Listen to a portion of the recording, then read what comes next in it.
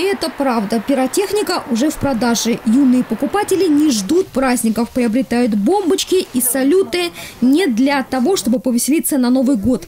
Им хочется поразвлечься сейчас. То, что они пугают прохожих, подростков еще больше раззадуривает. Э, Дети, особенно маленького возраста, в большом количестве скупают петарды, бросают под ноги вечером прохожим прямо с балконов.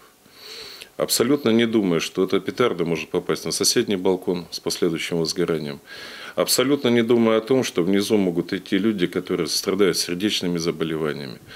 Э, Недавно я выходил вечером в парке на Цветном бульваре. Дети же не просто жгут эти петарды, они засовывают их в бутылки по несколько штук зажигает и смотрит, что из этого получится. И хорошо, если разорвавшаяся бутылка никого не поранит. Но случаев травматизма много. Поэтому Управление гражданской обороны и защиты населения просит родителей не закрываться от проблемы, а усилить контроль за своими детьми. В школах по поручению главы города планируется провести родительские собрания на данную тему.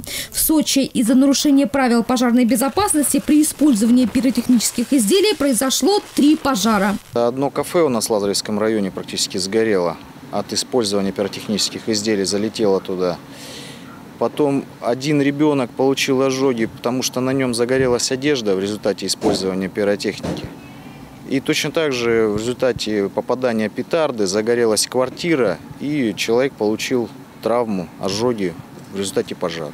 Специалисты напоминают, при покупке пиротехники надо обращать внимание на срок изготовления и при использовании четко следовать инструкции. Нельзя забывать нашумевшие истории с пермским клубом «Хромая лошадь», когда погибло 156 человек. Соответственно, и взрослым надо помнить о том, что пиротехнику можно использовать только на улице, но не в закрытом помещении с соблюдением всех норм безопасности. Елена Овсецина, Николай Тихонов, телекомпания «ФКТ».